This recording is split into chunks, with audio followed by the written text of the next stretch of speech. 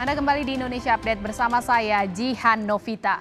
Saudara Kepala Staf TNI Angkatan Laut Laksamana Muhammad Ali menyematkan brevet kehormatan Hiu Kencana dalam peringatan hari ulang tahun ke-65 Satuan Kapal Selam TNI Angkatan Laut.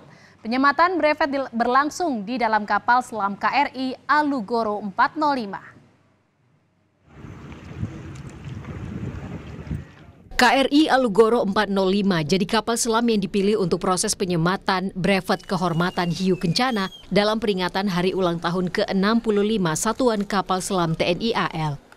Penyematan brevet kehormatan Hiu Kencana diberikan Kasal Laksamana Muhammad Ali kepada sejumlah perwira tinggi TNI AL di dalam kapal selam KRI Alugoro 405 yang berlayar di sekitar perairan Surabaya.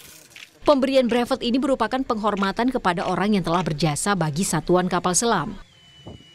Dan pelaksanaannya berjalan lancar, aman, uh, kurang lebih memakan waktu satu jam. Dan dilaksanakan untuk memberikan motivasi juga kepada para prajurit pengawal kapal selam, prajurit hiu kencana, supaya lebih semangat dalam melaksanakan tugas dan lebih profesional lagi ke depan.